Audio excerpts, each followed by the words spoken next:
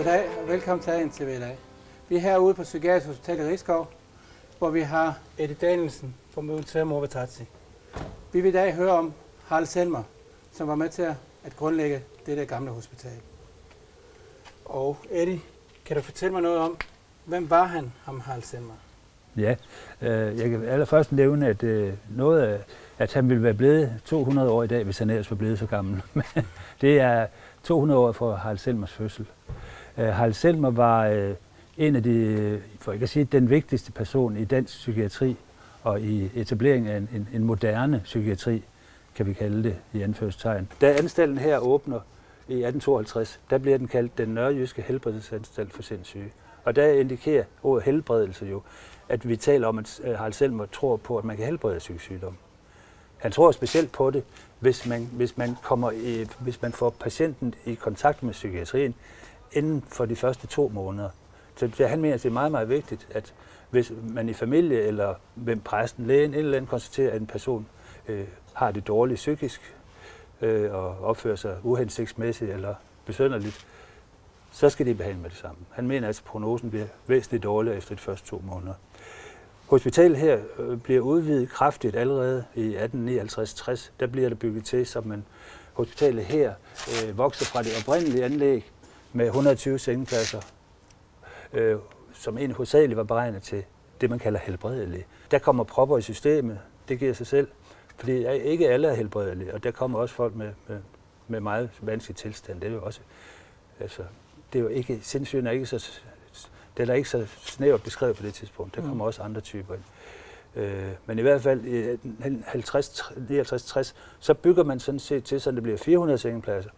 Og der bliver noget af det så faktisk til, øh, hvad vi kalde en plejeanstalt. Det vil sige øh, beregnet for folk, som ikke har en, et hurtigt udsigt til at blive raske.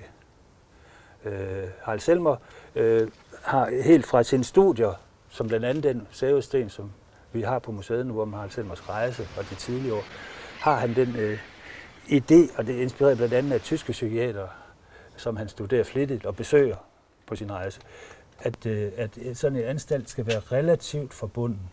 Det vil sige, at øh, en relativ forbindelse mellem øh, helbredelsesanstalten og plejeanstalten. Han vil gerne have, at det ligger øh, på samme lokalitet, begge anstalter. Og det han mener er, at det, det skal være ligesom forbundne kar. Det vil sige, at hvis man nu bliver betragtet som uhelbredelig, så skal der lige være en, øh, man skal have odds for, at man kan, man kan blive øh, helbredelig. Man kan mm. simpelthen ligesom forandre prognoser og diagnoser til at, at blive helbredelig, og så skal man flyttes tilbage til helbredelsesanstalten.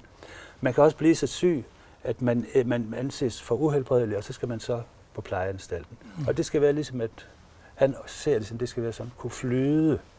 Det han allerhelst vil, det er selvfølgelig at udskrive folk som raske, det, det er klart. Harald Selmers hovedværk, som kommer til at danne grundlag for, øh, for anstaltens udformning og i hele taget øh, det, vi kan kalde moderne dansk anstaltspsykiatri, udkommer i 1846, og den hedder Almindelige grundsætninger for dårvæsets indretning som fast resultat af videnskab og erfaring fremstillet for det større publikum.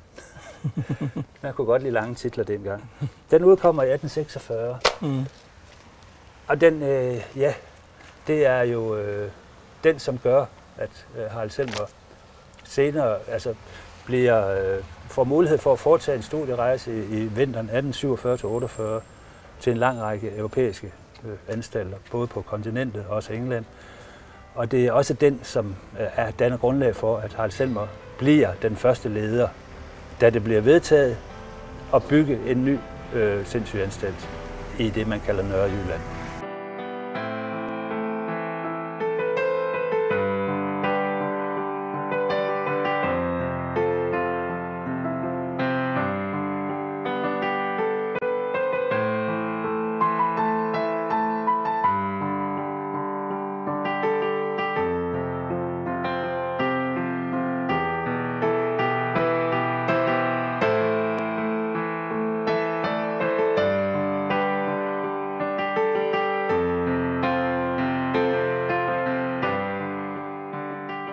Vi var lige inde på det med hans rejse.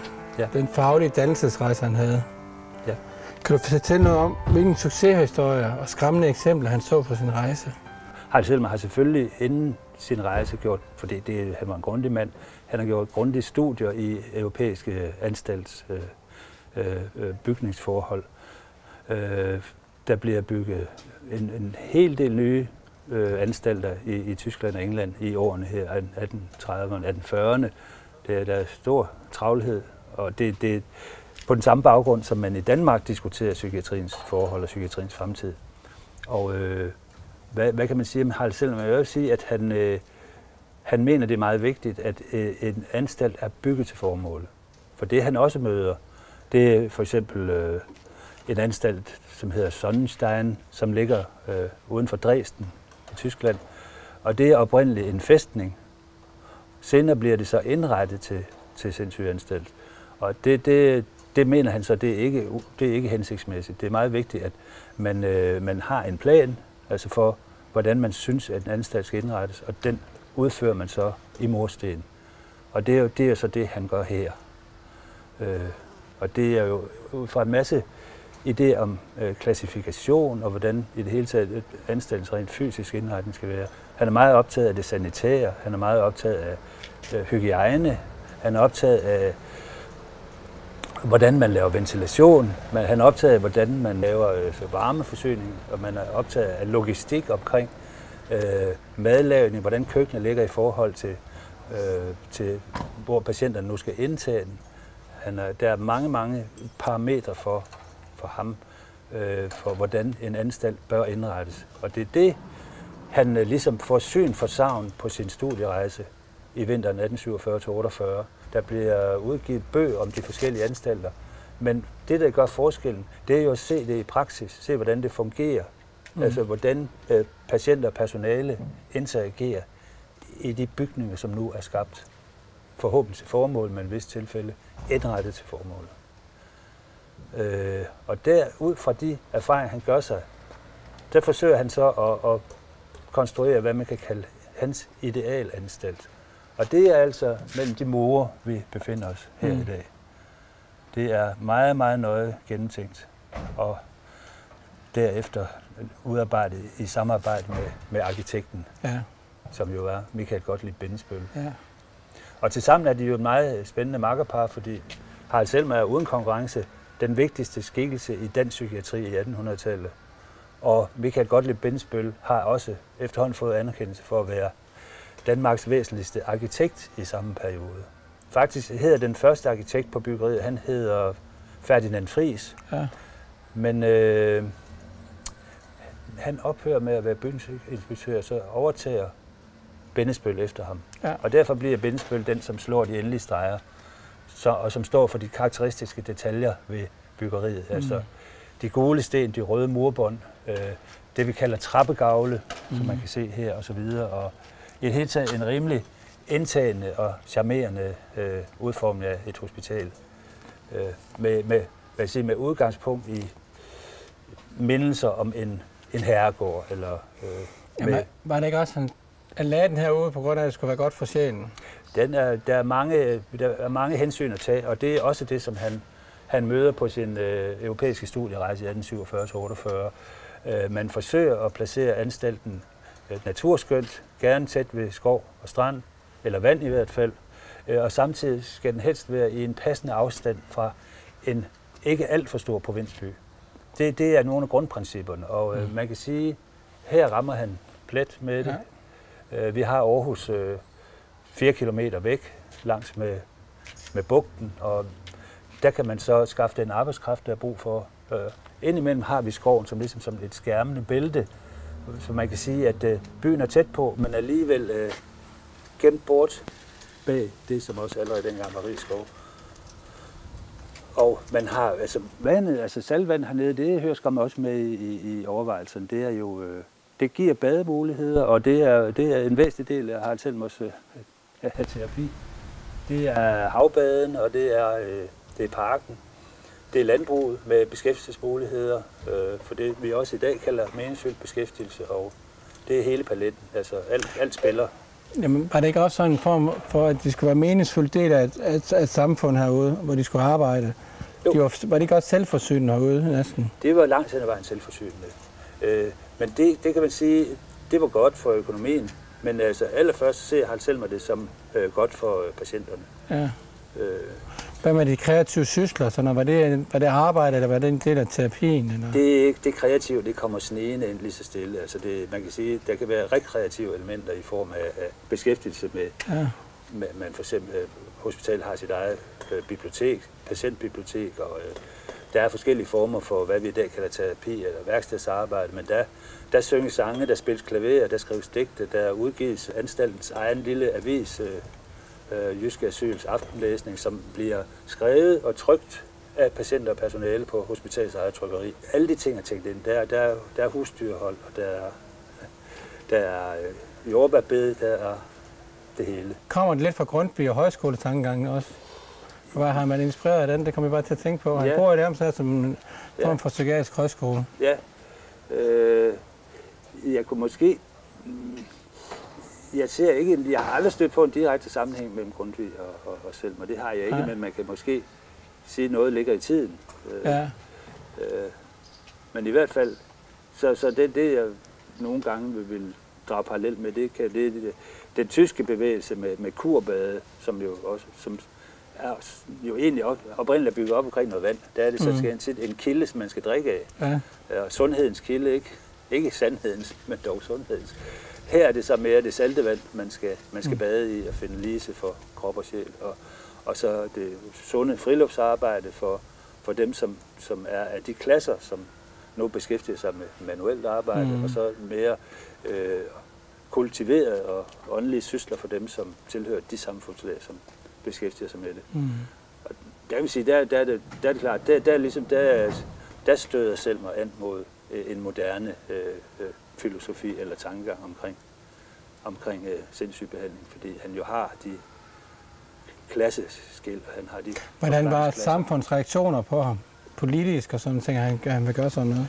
Jamen, altså, Selma er jo en, en darling, ikke? Det, det, han bliver jo han bliver udvalgt til, til den position her, og derefter sidder han så også i, byggekomiteerne for de næste to moderne anstalter, der bliver bygget i Danmark.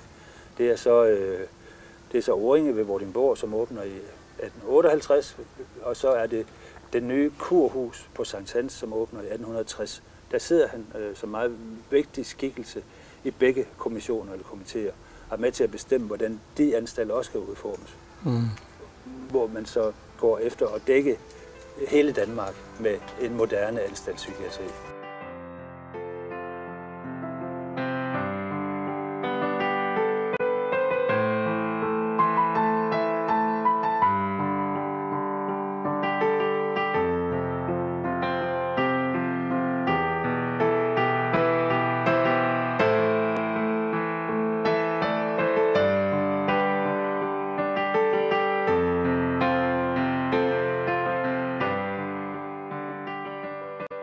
Der kan man sige, at det man nu vil gøre, altså planen om at flytte psykiatrien til, til Skyby øh, Mark, mm. øh, fra, fra Vejleby Krat her, er jo egentlig øh, en, en, en ny version øh, Harald Selmers budskab. Altså at man flytter psykiatrien sammen med somatikken, og så mener man, at der en, skal være en synergieffekt, og, og at egentlig også, at det skulle kunne øh, øh hjælpe på noget af det, den stigmatisering, som man jo taler om omkring psykisk sygdom, altså at, øh, at det næsten er værre at være psykisk syg, end det er at have kræft, kan man sige, fordi øh, der er en stor berøringsangst. Kan man sige, stadigvæk. altså Harald Selmer, der var meget stigmatisering, dengang Harald Selmer han løbet.